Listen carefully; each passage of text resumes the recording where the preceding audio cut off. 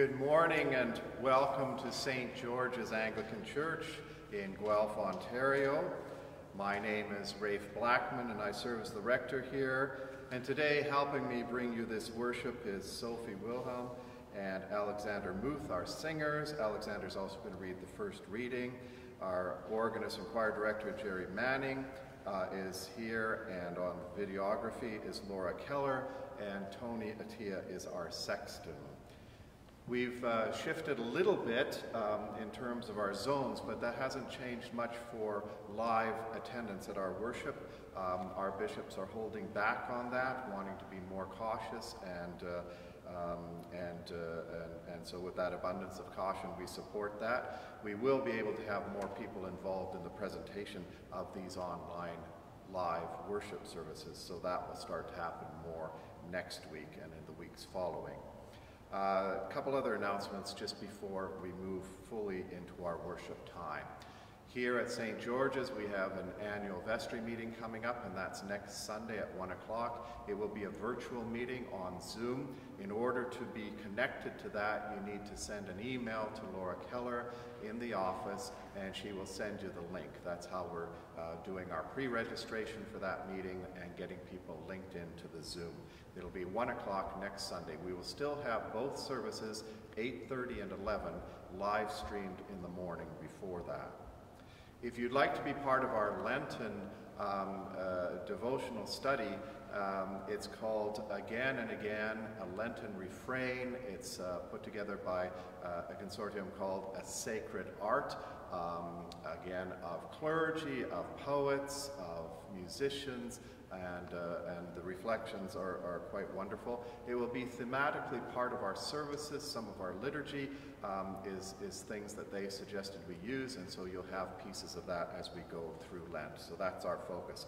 Again, if you'd like to be part of that, send an email to Laura in the office. And now I wish to acknowledge that we meet on land that at the time of contact was held by the Attawandaron as an area of trade and ceremony by the two rivers. At various times, the land was occupied by both the Haudenosaunee from the south and the Anishinaabe from the north. In more recent times, the Huron Treaty gave rights to the Mississaugas of new credit. May we who dwell on or visit this land also be good stewards and honor those who came before us. We continue in worship.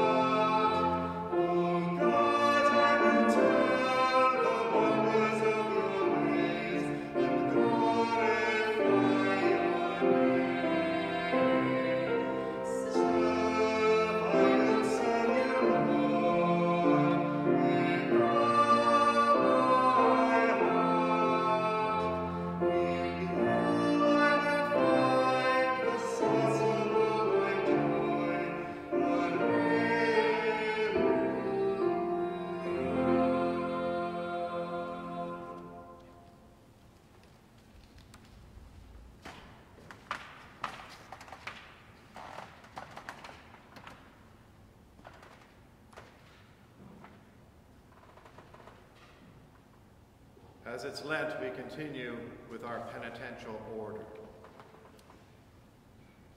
God meets us in the night, before the sun rises, before the wound heals, before there are answers, before there is closure. God meets us in the light, where joy is effervescent, where laughter is contagious, where flowers bloom from cracks in the sidewalk, and where people gather around the table. God meets us at the threshold, at the edge of the water, at the beginning of the wilderness, at the start of something new, on the edge of faith. And if God meets us in all those places, then surely God meets us in between, staying with us through the wilderness. We are not alone. God is all around. Let us worship the God of the here and now. Again and again, God meets us where we are. God's love knows no bounds, which is hard for us to understand and easy for us to forget. Therefore, in confession, we remember together that we are not alone. And in a unified voice, we once again ask for God's grace in that holy reminder. Family of faith, please pray with me. God who meets us where we are, there is nowhere we can go that you are not. You were with Jesus at his baptism. You were with him in the wilderness and even in between. You were there saying aloud, This is my beloved. We know that you are with us too, in the good, the bad, and everything in between. But so often we act like we are alone. Instead of coming to you with our hurt, we hold it in or cast it onto others. Instead of coming to you with our joy, we credit ourselves and offer you nothing. How can we long for a deeper relationship with you while living like you are nowhere to be found? Forgive our self-centered ways. Remind us that in every breath, in every step, you are there. You are the God who meets us where we are, before and behind, above and below, within and around. Amen. Family of faith, if you hear nothing else today, hear this. God is here. God sees you. God knows you. God meets you at the edge of every new beginning, and God calls you beloved. We are washed by the water. We are called beloved. Thanks be to God for a love like that. Amen. The Lord be with you and also with me. And let us pray the collect appointed for this day. God of the wilderness, your Son battled with the powers of darkness and grew closer to you in the desert. Help us to use these 40 days to grow in wisdom and prayer, so that we may witness to your saving love in Jesus Christ, our Savior. Amen. Let us now listen for the word of God as we have our first reading.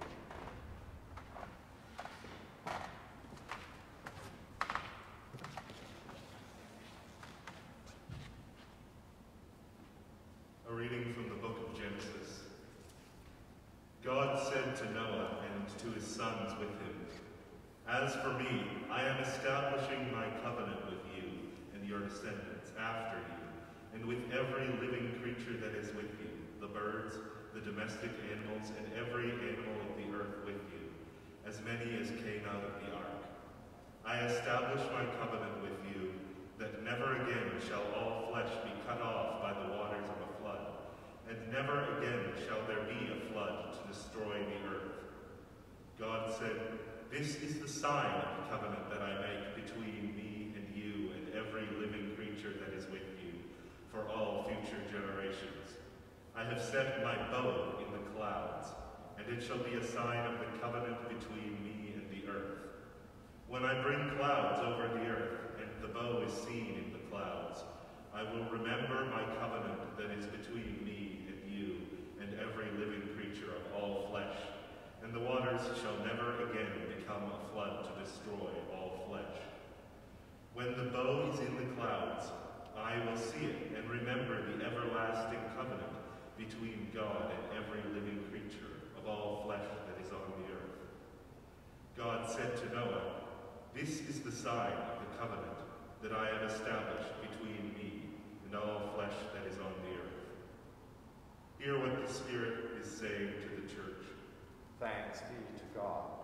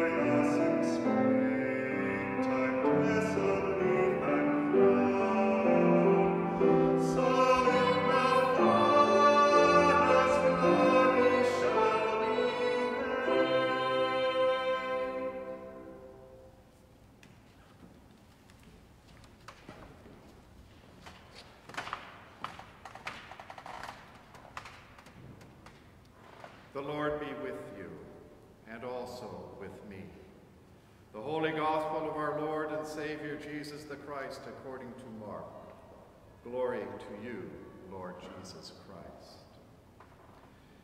In those days, Jesus came from Nazareth of Galilee and was baptized by John in the Jordan. And just as he was coming up out of the water, he saw the heavens torn apart and the Spirit descending like a dove on him. And a voice came from heaven, You are my Son, the Beloved. With you I am well pleased.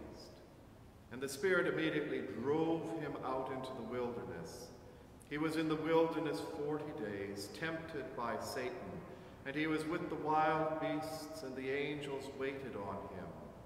Now, after John was arrested, Jesus came to Galilee, proclaiming the good news of God and saying, The time is fulfilled, and the kingdom of God has come near.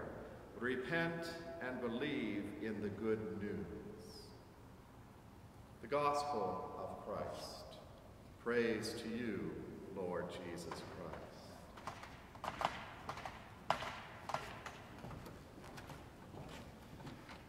Dear friends, as always, I speak to you in the name of the one who is for us hope and salvation, Jesus the Christ. Amen. All four of the Gospels announce the beginning of Jesus' ministry with the story of his baptism, his coming to John at the Jordan, some way away from Nazareth, maybe towards Jerusalem, Maybe he's journeyed almost 100 miles to get there. He comes to the edge of the water. He comes there, and through the waters and then into the wilderness is prepared and set for the beginning and the fullness of the centrality of his ministry. Now, the difference between the other Gospels and Mark is Mark does all of this in about six or seven verses. He has Jesus come from Nazareth to the edge of the water, baptized by John. The moment of Annunciation is really a conversation with Jesus. We don't know of others here. This is my beloved in whom I'm well pleased. He's then sent and caused by the Spirit to go into the wilderness. And then when John is arrested, he returns and takes up the mantle of his ministry. The others are slightly longer. Mark is that way, short, pithy, to the point. Uh, sometimes this gospel has descri been described as a, as, as a passion narrative with a prologue. And uh, that's one way to look at it. The ministry and direction and focus of Mark is to move all of this action towards Jerusalem and the events there. So at the start of this Lent, at this first Sunday in Lent, we have the story of Jesus' baptism. And I want to center into that, as I think it's an important way and place and time for us, particularly as we think about Lent as a time to reflect, renew, reshape our priorities and our relationships with God.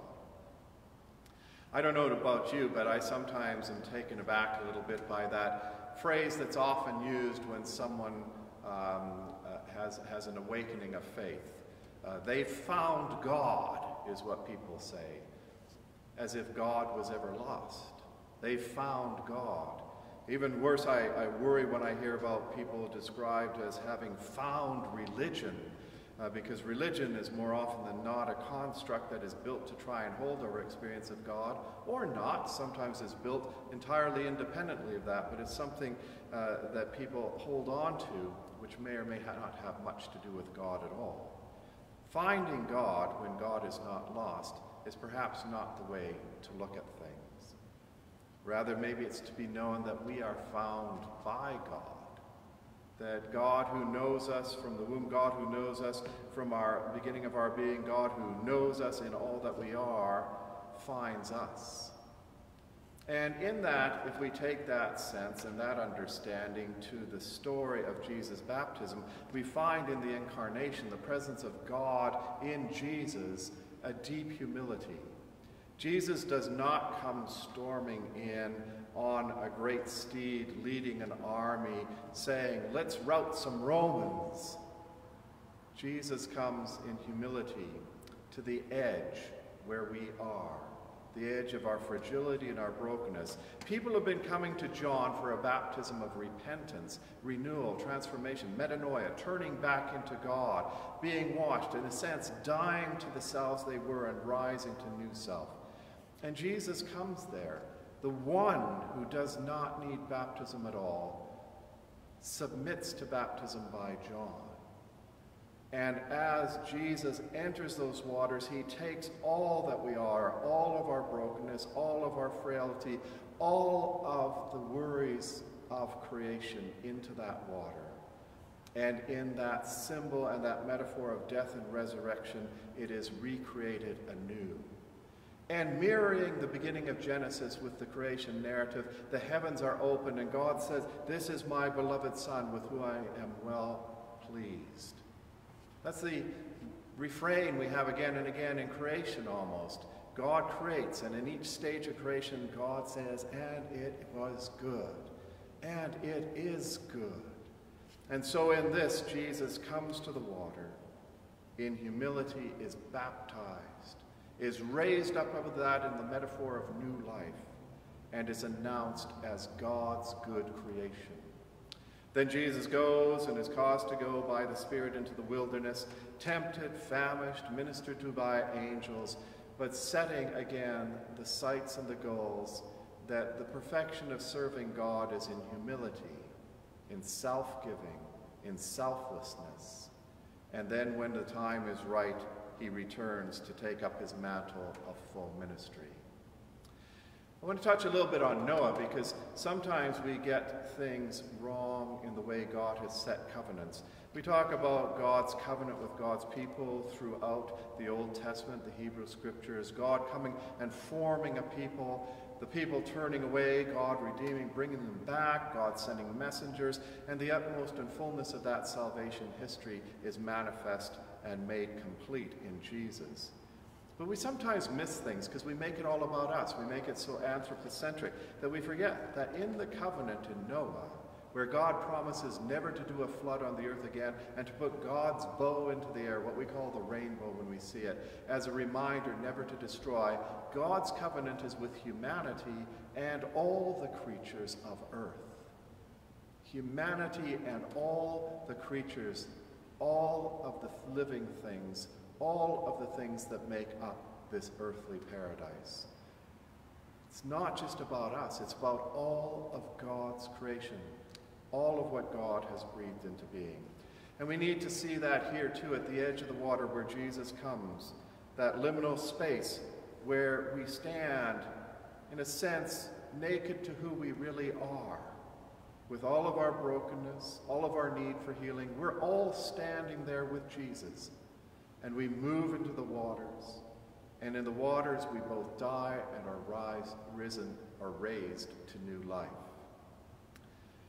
Powerful, but it's for all of creation as well.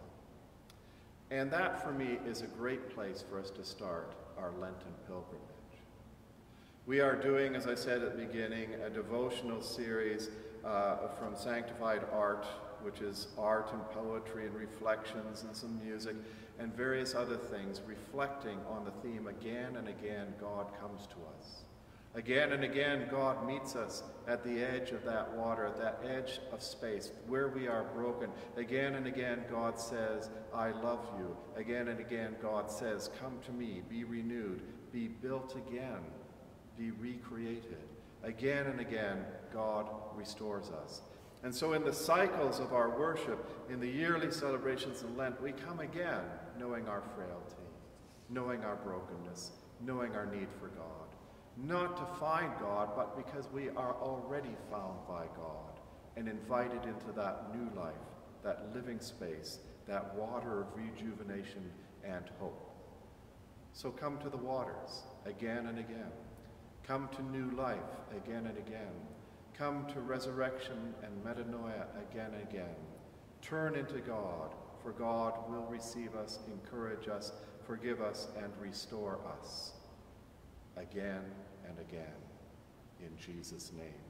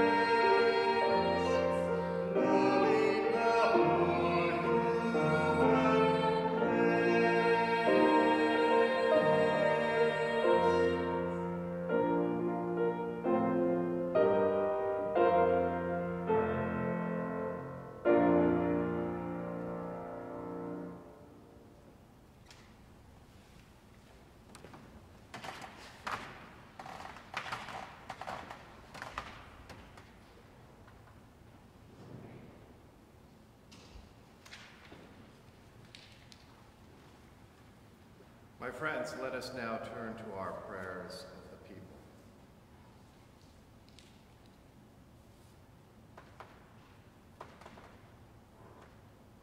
Holy God, satisfy us with your love in the morning, and we will live this day in joy and praise. Protect, O God, your people in every need. May love and sincerity reign in your church and its mission. Today we pray for the work of the church throughout the world. And we pray in particular for our Anglican church throughout the world and in the Anglican cycle of prayer we remember the church of the province of Central Africa, praying that God bless them in all the challenges that they face. And in our Anglican Church of Canada, we pray for all of our varied ministries and those who lead us, Linda, our primate, Mark, our national Indigenous Archbishop, Anne, our Metropolitan Archbishop, and within our Diocese of Niagara for Bishop Susan and the people of Christ Church Flamborough, their ministries and their mission. In our cycle of prayer at St. George's, where we are remembering intentionally uh, people in our parish roll, a few each Sunday, we remember these people and their households and their families, praying God's blessings upon them.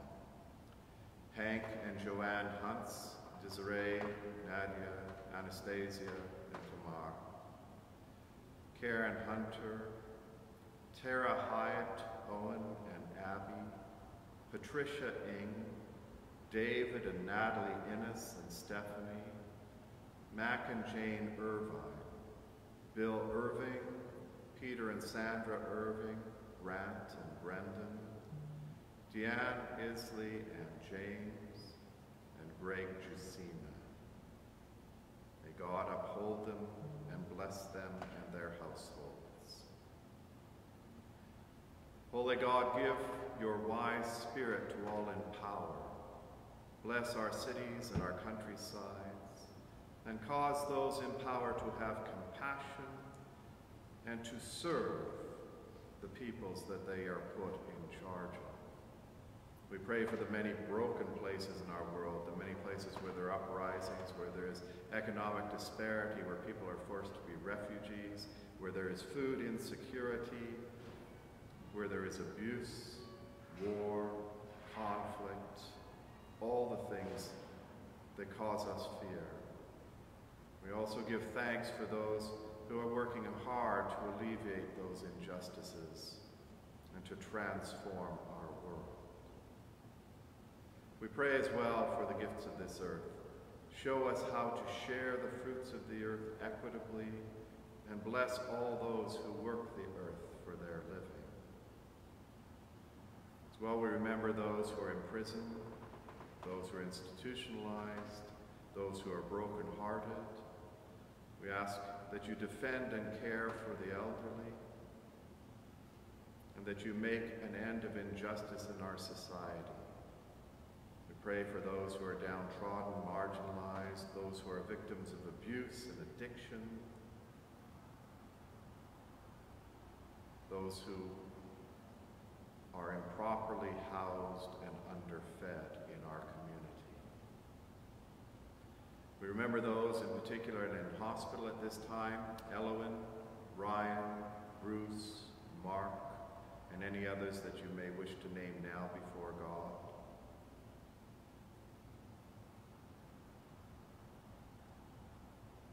We pray for those for whom special prayers have been asked. For Ron, Trevor, Ned, Kate, Paul and Sarah, Michael, Kieran, Dieter, Gregson and Suzanne, Susan and family, Camilla and family, Inez, Dorothy, Margaret, Andy, Bill and Marilyn, Jim, Vivian, Dave, Anne, Dorothy, Eleanor, Mary, Michael and Jackie, and any others that you may wish to name now before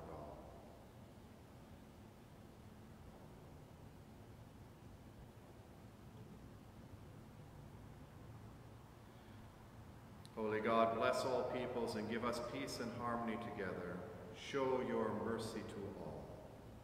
We ask that you forgive our persecutors and slanderers, that you calm their hostility, and that you forgive our own injustices and cause us to correct them.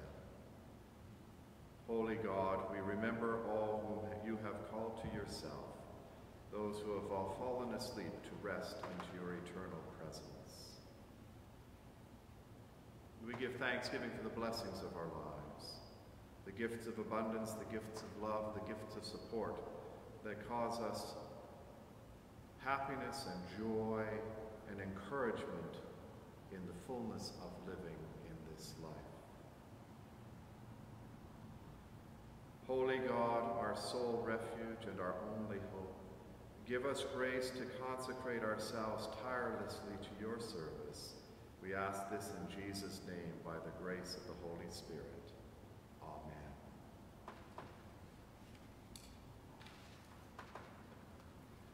Now, my friends, we come to the time of sharing the peace.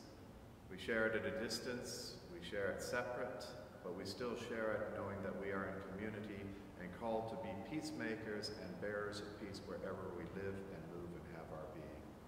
The peace of the Lord be always with you. Peace.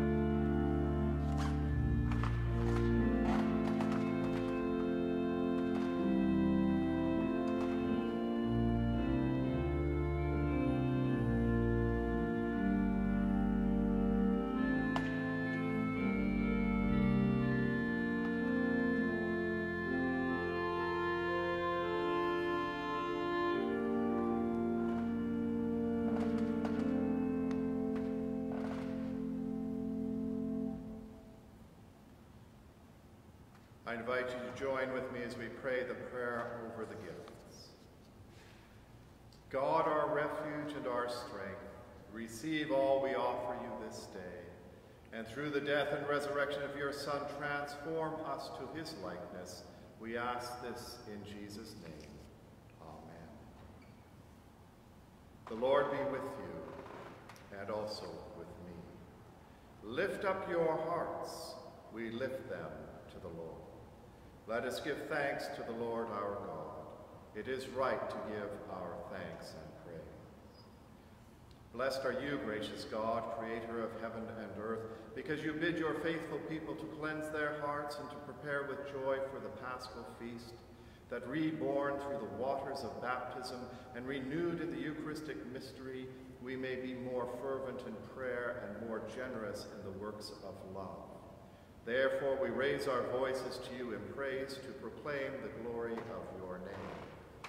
Holy, holy, holy Lord, God of power and might, heaven and earth are full of your glory. Hosanna in the highest. Blessed is the one who comes in the name of the Lord. Hosanna in the highest. We give thanks to you, Lord our God, for the goodness and love you have made known to us in creation in calling Israel to be your people, in your word spoken through the prophets, and above all in the word made flesh, Jesus, your Son. For in these last days you sent him to be incarnate from the Virgin Mary, to be the Savior and Redeemer of the world. In him you have delivered us from evil and made us worthy to stand before you. In him you have brought us out of error into truth, out of sin into righteousness, out of death into life on the night that he was handed over to suffering and death, a death he freely accepted. Our Lord Jesus Christ took bread, and when he had given thanks to you, he broke it and gave it to his disciples and said, Take, eat, this is my body which is given for you. Do this for the remembrance of me.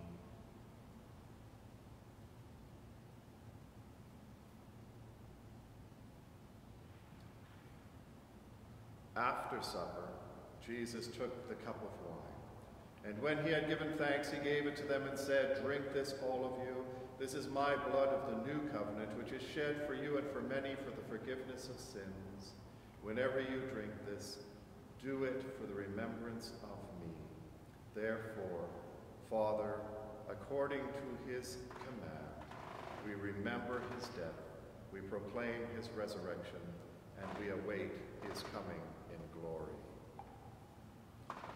And we offer our sacrifice of praise and thanksgiving to you, Lord of all, presenting to you from your creation this bread and this wine. We pray you, gracious God, to send your Holy Spirit upon these gifts, that they may be the sacrament of the body of Christ and his blood of the new covenant. Unite us to your Son in his sacrifice, that we, made acceptable in him, may be sanctified by the Holy Spirit in the fullness of time, reconcile all things in Christ and make them new, and bring us to that city of light where you dwell with all your sons and daughters, through Jesus Christ, our Savior, the firstborn of all creation, the head of the church, and the author of our salvation. By and with whom and in whom, in the unity of the Holy Spirit, all honor and glory are yours, Almighty God, now and forever.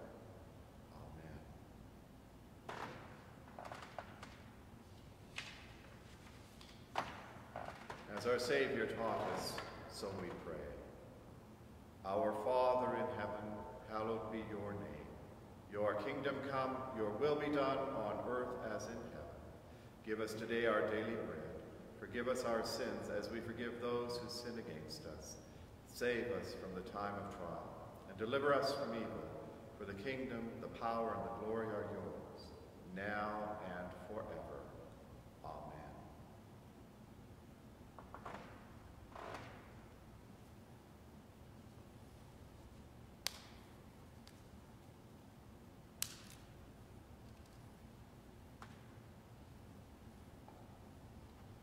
We break this bread, communion in Christ's body once broken.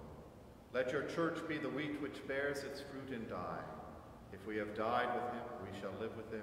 If we hold firm, we shall reign with him.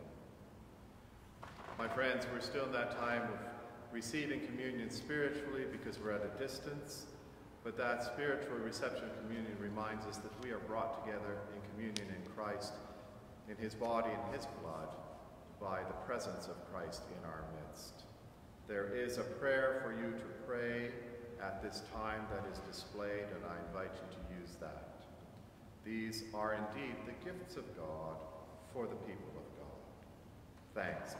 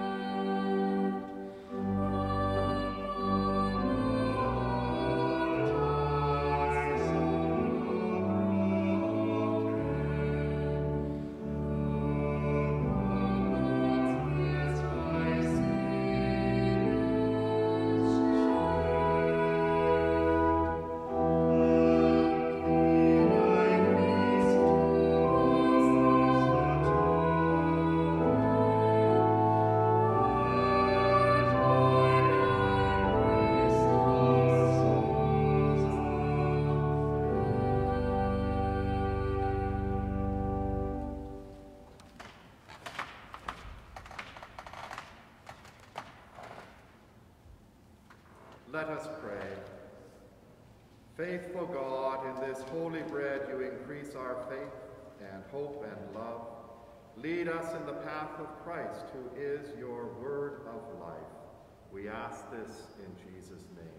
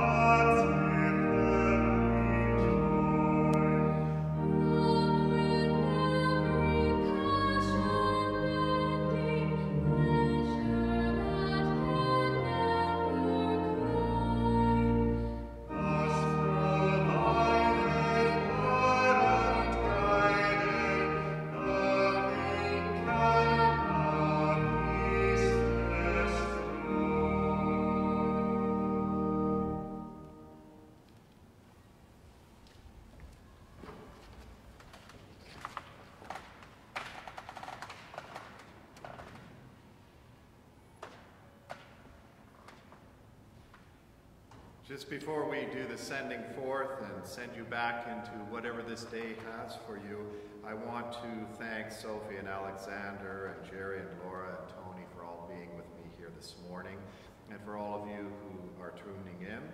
Um, I don't know about you, but when I got up to walk the dog this morning, it's a nice, bright, sunny day here in Guelph for those of you who aren't here, but we're still having some of the lingering effects from that huge polar vortex that went all the way down to Texas, and we do continue to pray for all those souls there. But it was minus 20 when I took the dog out for a walk this morning. But we're on our way to a balmy minus 3. So you can live in hope, or you can do what I'm planning to do, give up winter for Lent. Um, again, our Blessings to you. I did tell you the announcements at the beginning. I do hope that you will connect with us in the weeks to come and in our journey in Lent in our devotions. As we leave this space, may your mouth speak of God's goodness. May your arms hold those in need. May your feet walk toward justice. May your heart trust its worth. May your soul dance in God's grace, and may you be, and may this be your rhythm again and again and again until God's promised day. In the name of the lover, the beloved, and love itself, go with courage, go with heart, go in.